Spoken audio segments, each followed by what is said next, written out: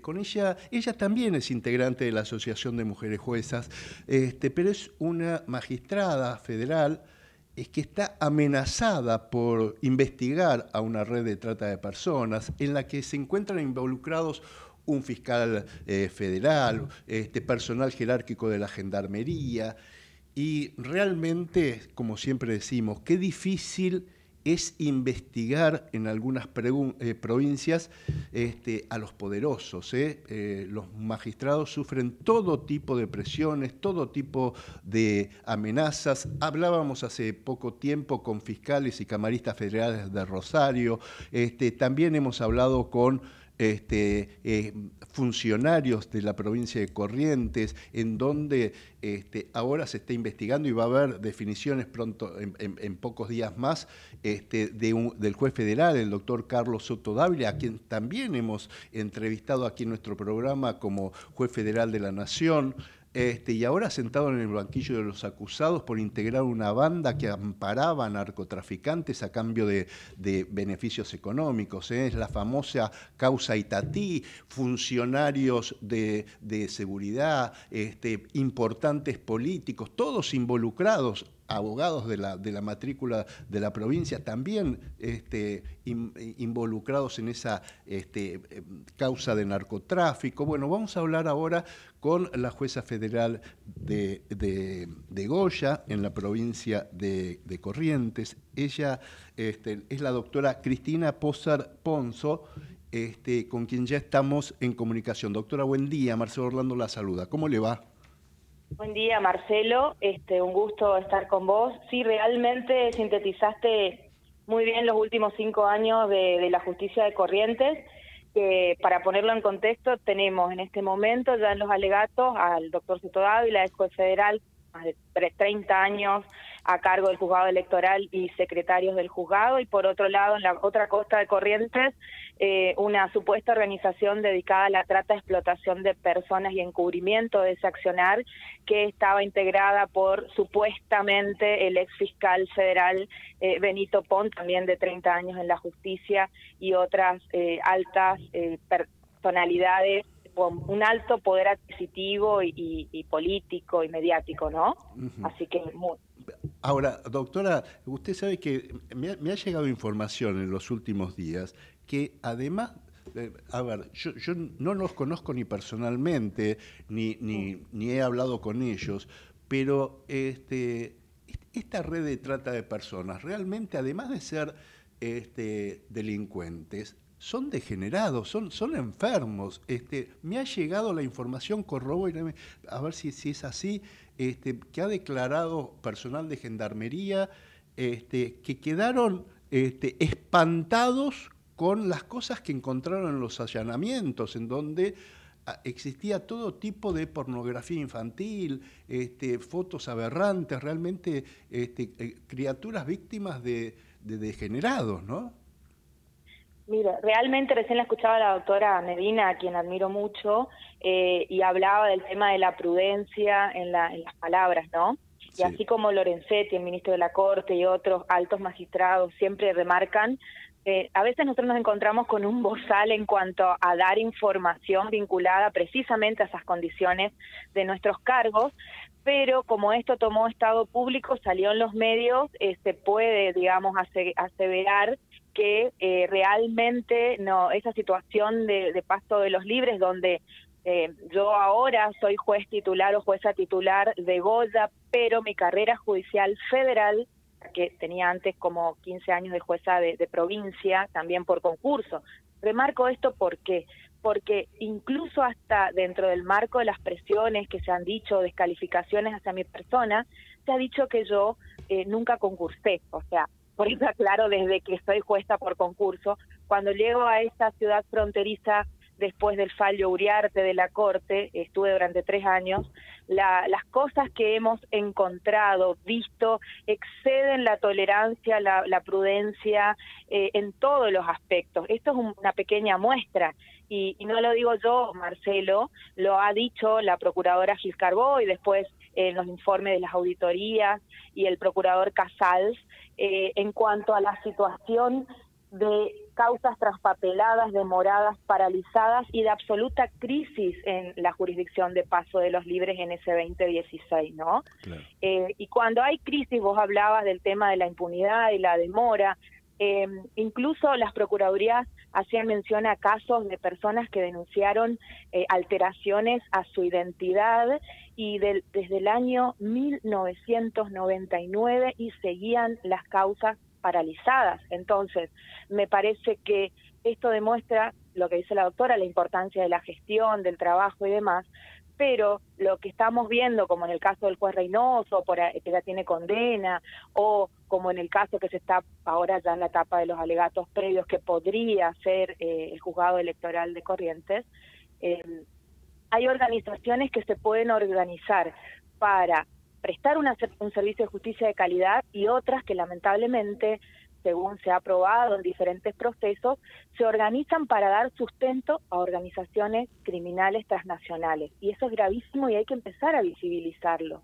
Me parece que el debate tiene que estar a otro nivel y no en, descalificaciones constantes, permanentes, hacia la persona del juez o jueza, sino que tenemos que estar eh, en otro nivel de debate. Y bueno, si, si el juez o jueza carece de alguna aptitud, se lo suspenderá o, eh, o será destituido. Pero diferente es mi situación que yo pese a tener eh, un, de, un dictamen de hace tres años y nueve meses de archivo de una denuncia propiciada por la defensa del ex fiscal federal Benito Pon y algunos funcionarios de Paso de los Libres, eh, un senador radical en el, último plenario dijo no, volvamos para atrás, volvamos a investigar, entre comillas, por tercera vez algo que jamás aportó pruebas. Entonces me parece que el debate tiene que ser más elevado, más profundo y empezar a hablar de estas cosas que, que por ahí el ámbito judicial es, escabulle, ¿no?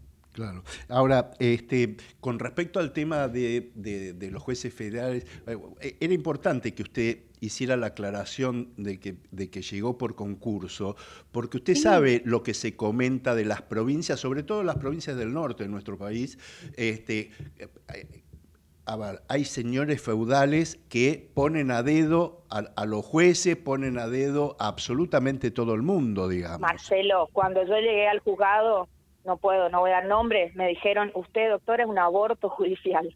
¿Por qué? Y porque usted llegó a donde nunca tenía que llegar, ya se lo decimos, y así empezamos una carrera en el ámbito federal bastante compleja, eh, donde si ahora salió todo esto es a raíz de esta situación en el Consejo, que coincidía con una semana de anterioridad al inicio de este juicio.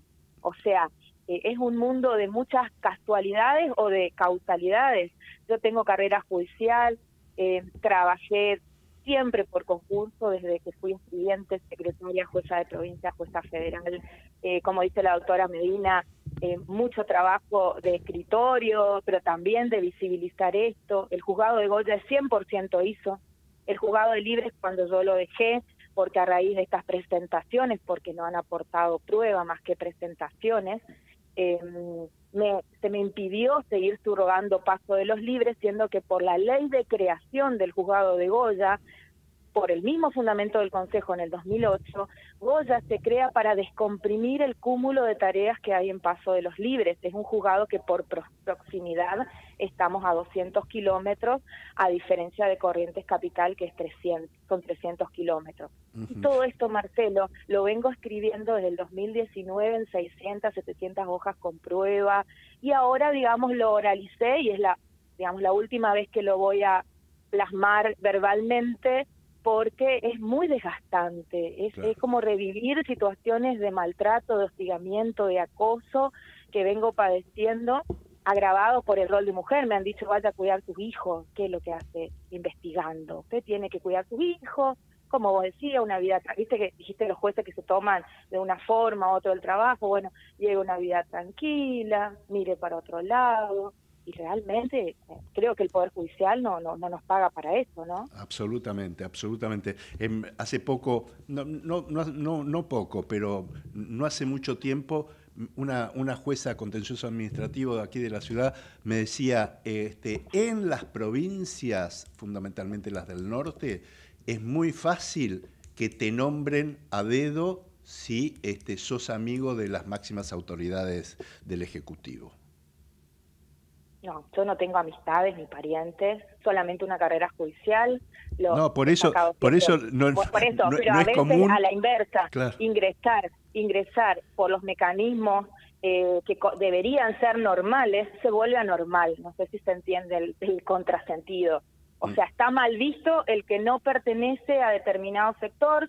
Yo no, no tengo vinculaciones en el fuero federal eso está aprobado. Primero, me han atacado a través de los fallos, tengo casi un 100% de confirmación de fallos civiles y penales, estoy en el 90 y pico. Eh, en cuanto a gestión, hice todas las capacitaciones, los cursos, pero eso parece que es poco o que molesta, o, o, sea, hay como un discurso que tiende a decir esto es lo que se espera, pero bajo cuerda pareciera que eso es lo que no se espera. Y esto te lo digo porque soy ciudadana y más allá de lo que pase conmigo a mediano o corto plazo, eh, tengo desde el 2004 estoy en el Poder Judicial de la provincia y después federal. Yo quiero pensar en que tenemos una posibilidad de tener un Estado mejor, un Poder Judicial mejor y, evitar situaciones eh, como vemos en Rosario o en otros países donde la droga, el narco, las organizaciones criminales ya están instaladas, ¿no? Claro, claro. Este, doctora, ¿y, y, las amenazas en qué consistieron? Por eso te explico en las presentaciones escritas desde el 2019, eh, porque incluso el nuevo Código Procesal Federal habla de que nosotros tenemos que poner en conocimiento, si bien en Corrientes se aplica parcialmente, pero ya está vigente en otras provincias y es ley, nosotros tenemos que poner en conocimiento del Consejo estas situaciones. Yo fui hace cuatro años por esa vía, hasta ahora no he tenido respuesta. Eh, al contrario, se me vuelve a investigar, como le decía. Eh, he puesto en conocimiento las sistemáticas y permanentes situaciones que he vivido desde estas frases eh, que son para nada inocentes, de, mirar para otro lado, de dejar de consultarme antes de hacer esto o lo otro. Este, he puesto en conocimiento desde eso hasta eh, un mecanismo que tiene que ver con, con todo tipo de generalizaciones, de descalificaciones sutiles, que terminaron con brutales imputaciones como ser eh, por eso le decía, de que, por ejemplo, nosotros armamos causas y esas armados de causas terminaron, en, como pasó el año pasado, en la conexa esta causa de trata, en condena a más de media docena de aduaneros por contrabando agravado en la frontera, precisamente de cosas, pero también de personas. ¿Para qué, Marcelo?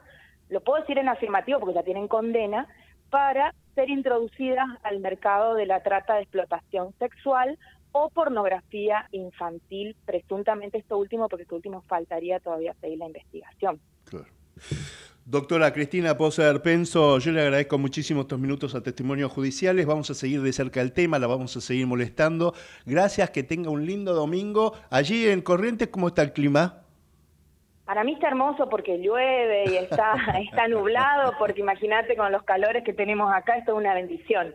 Pero, pero es caluroso, muchísimo, muchísimo eh, verde por todos lados. Este, me parece más ya un clima selvático o, subtropical o tropical. La verdad, este, un domingo que espero pasar con, con mi familia y bueno, y, saludos a todos y muchísimas gracias Marcelo por, por la comunicación. Gracias a usted por el tiempo, doctora. Que tenga un lindo domingo. Gracias. Gracias. Hasta luego.